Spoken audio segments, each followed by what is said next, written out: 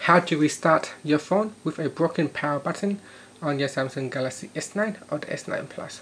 So your phone uh, power button is broken and you no longer can uh, uh, use it when you're pressing it. So here's a way how you can restart the device.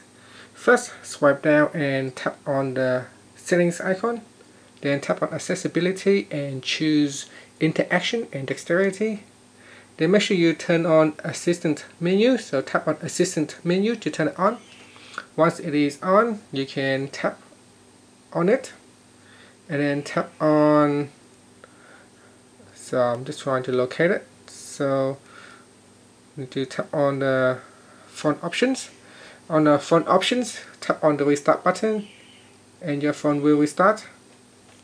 So tap on restart and that's it. So we haven't used the power button and we still can manage to uh, restart the phone. Now if the power button is not working then do not and I stress this do not turn off the phone because once the phone is turned off you cannot bring it back on. So uh, just only restart the phone and make sure the power never runs low because once it runs low uh, there is no way you can uh, switch it back on without using the power button at the moment and that's it. Thank you for watching this video. Please subscribe to my channel for more videos